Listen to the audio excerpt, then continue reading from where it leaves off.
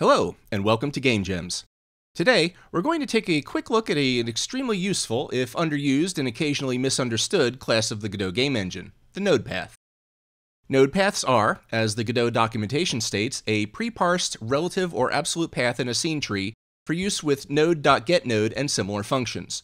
It can reference a node, a resource within a node, or a property of a node or resource. You've been using them all along without even really knowing it. Anytime you pass a string path to get node or use our good friend the dollar sign to create a reference to a node in the scene, you're using a node path. Or at least you're using one under the hood. Godot takes the string you give it and internally converts it into a node path class that points to the node you provided the path to.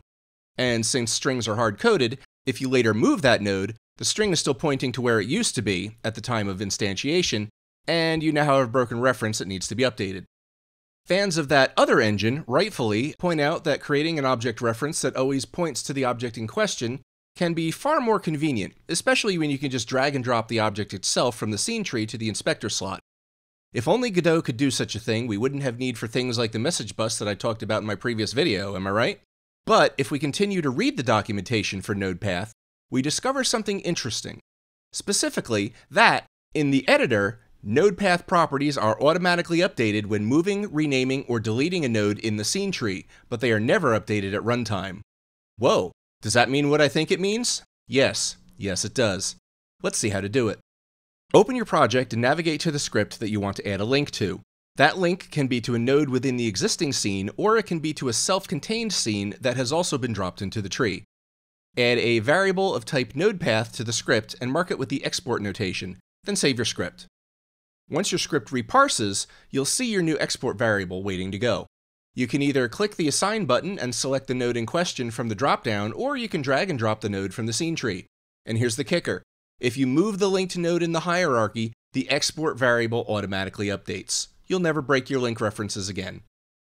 If you add exportable node paths to the top level of your self-contained scenes, you'll be able to access any node outside of the scene from within it as though it belonged to your scene itself. Before we go, a quick note about design.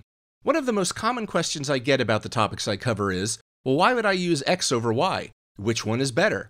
For example, should you use the trick I just explained instead of a message bus or standard get node calls? It's understandable to want to know the right way to do things, but unfortunately, in the realm of computer science, what's right often depends on who you're asking, and even when you ask them.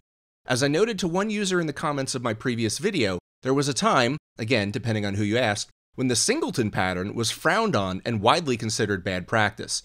Now, both Unity and Godot make such heavy use of them that they're built into at least one of those languages as a feature, and are pretty much guaranteed to show up in the other one nearly every time you're working on a professional project. As a programmer, it's your job to decide what's right for your project and why. And with a few exceptions, in the end, the choices absolutely do not matter. You'll discover which ones do matter with experience, or a little forethought. And as you develop said experience, that forethought will come easier and easier. That's why we make the big bucks, after all. If you found this tip useful, feel free to like and subscribe for more game gems. See you next time.